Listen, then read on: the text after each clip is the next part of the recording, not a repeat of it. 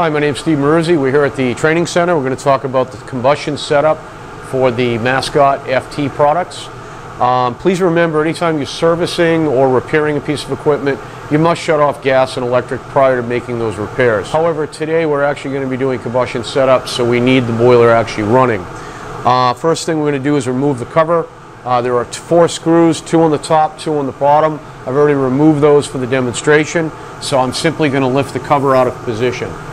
Right, so the next thing we want to do is disconnect the outdoor sensor wire. And the reason is obviously, for example, like today, uh, it's above 70 degrees and I'm above my warm weather shutdown. So even giving the boiler call for heat will not allow it to operate uh, so we can get into combustion setup. So very simply, I'm going to power the boiler off. I'm going to disconnect one of the outdoor reset wires. To remove the outdoor wire, we have a plastic cover. Simply pull forward. I'm going to slide that down and remove one of the outdoor reset wires. With that disconnected, I'm going to power the display back up, or the boiler back up, and we'll go through a sequence.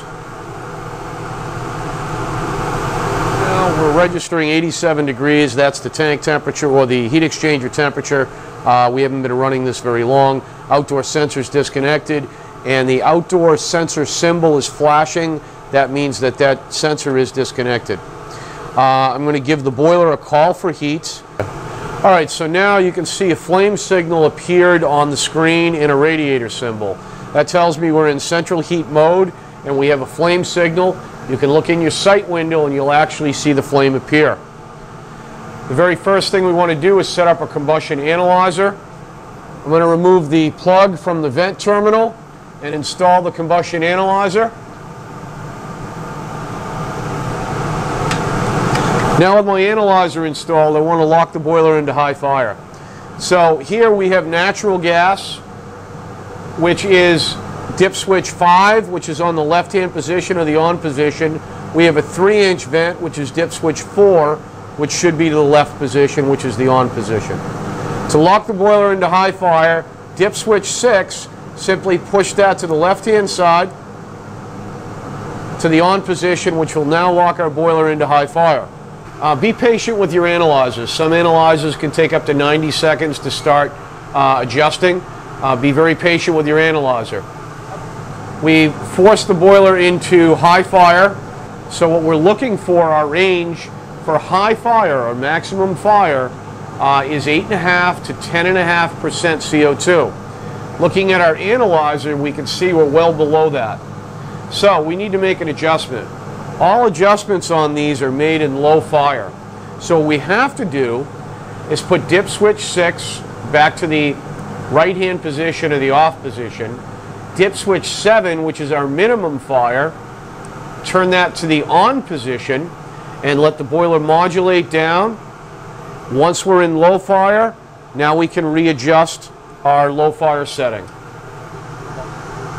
So what we want to do is make a gas valve adjustment under this cap. So I'm going to remove the cap. It's a number four millimeter Allen key. And now we can make an adjustment. And right on the valve, it's going to show you clockwise will increase, counterclockwise will decrease. Well, we know we had to make a clockwise or increase adjustment. So what I'm going to do is just take a very small adjustment so we made our low fire adjustment. What we want to do is be very patient with your analyzer. Make sure we're within range for low fire. As the chart will show you, min fire or low fire, that range is between 8 and 10% for natural gas. So as you can see, we're slightly below 10%, which is good. We're within range. We want to turn the boiler back to high fire. To do that, we go back to our dip switches. We turn dip switch 7 to the off position which is the right hand side, dip switch 6 to the left hand or on position and allow that boiler to modulate to high fire. Once we've run in high fire, we wait and make sure we're within range.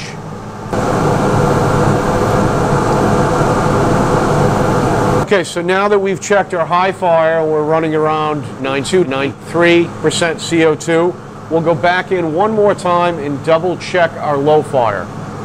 I'm going to throw dip switch 6 to the right hand position, dip switch 7 to the left hand position, Be patient with your analyzer, let that modulate down, and double check your low fire adjustment.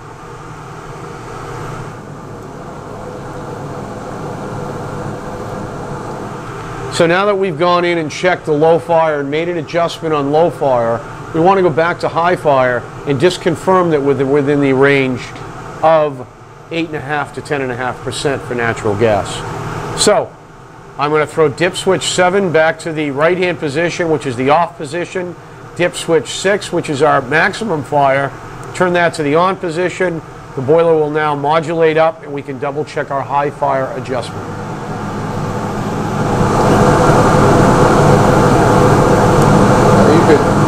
So now that we've checked, again, our high fire CO2 is around 9.4%. Low fire was running around 9%. We want to make sure that we go back in and put this back into normal operation. In this case, dip switch 6, because we're in high fire, goes back to the right-hand position or the off position. Next, we can de-energize our call for heat.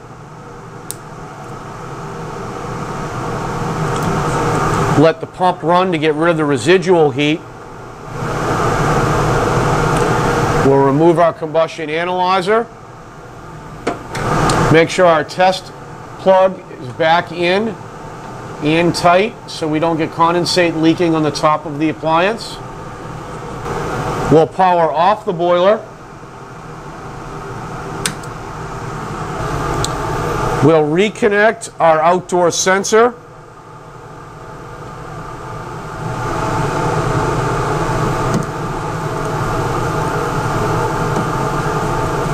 We'll put the plastic cover back on into position and snap it in.